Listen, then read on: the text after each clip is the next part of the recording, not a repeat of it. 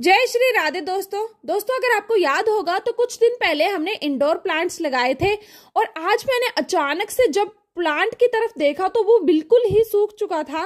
मैं तो देख के शॉक्ड होगी कि ये क्या चीज़ आ गई। फिर मुझे याद आया कि यहाँ तो मैंने प्लांट लगाए थे, ये तो प्लांट है मेरा। ये इतनी बुरी हालत कैसे होगी? तो जैसे मैंने प्लांट को उठा के देखा तो उसका जो पानी था, एक बूंद भी नहीं बची थी। मतलब पूरा ही एब्जॉर्ब कर लिया था प्लांट ने और उसे पानी नहीं मिला तो वो सूख रहा था।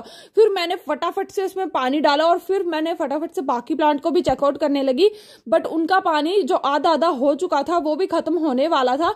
बट चलो, बाकी डेड नहीं हुए बट इसकी बहुत बुरी हालत हो चुकी थी। फिर मैंने इसमें फटाफट से पानी डाल दिया और इनके नाम बता दूँ मैं, ये वाटर कैबेज है, एक टर्टल वाइन है और साथ में वंडरिंग ज्यू काफ़ी अच्छे से ग्रो हो रहे हैं। देखिए, कुछ ही दिन, अभी दस दिन भी नहीं हुए, अभी जस्ट पाँच दिन हुए होंगे। और देखिए, कितने अच्छे से इनकी ग्रोथ हो रही है तो इनको लगाना बिल्कुल भी मत, ना भूले। इनकी रूट्स भी डेवलप हो गई हैं।